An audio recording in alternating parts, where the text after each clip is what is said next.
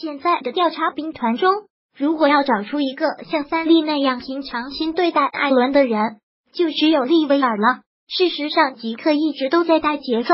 艾伦能与一百零七七沟通的机会接近于零，而以他的骄傲，又不允许自己将这么一个机密计划在众人面前竹筒倒豆子。萨沙一死，艾伦更是百口莫辩，干脆闭嘴。吉克在胡子遮掩下的似笑非笑，惹来利威尔恶狠狠的一瞪。吉克设下的局，为什么破局关键会是利威尔？而不是三笠或者埃尔敏呢？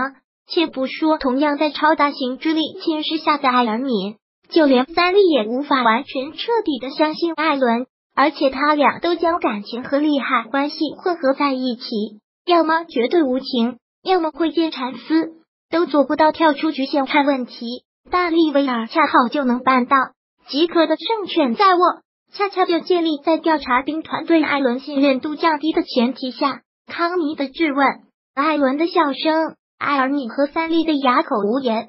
当时在场，智商被正直的让叶只嘟囔了一句：“别说了。”如果是利威尔，他会读不懂艾伦的惨笑吗？艾伦当时的笑声，有点像刃牙中永次郎误杀江珠之后的狂笑，跟笑嘻嘻挂不上钩。而理解了这一点后，利威尔的单刀直入，三丽的百哭柔情，都是能够攻破艾伦防线的绝佳武器。想要破解艾伦和吉克铁桶联盟的前提，就是让艾伦和调查兵团之间的信任度远远超过艾伦和吉克之间那份利益纠葛的重要性。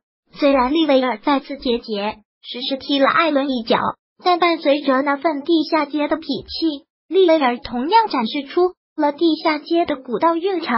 面对艾伦仿佛燃尽余晖的眼神，利维尔眼中的不忍与之后的温和解释。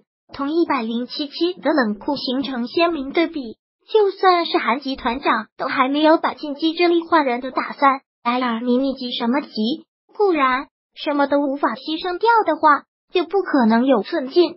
但艾尔引起我的感觉，怎么像是被这句话给绕进了死胡同里？艾尔敏提出的建议，是真有打算在艾伦还能使用这一前提下换人的。且不说培养一只智慧巨人需要多少时间成本，就说马来方面，莱纳极力要求登上帕岛作战，他们会在艾伦被换掉之后等上一年半载再进行决战吗？艾伦现在还被吉克牵着鼻子走，利威尔能把他牵回来吗？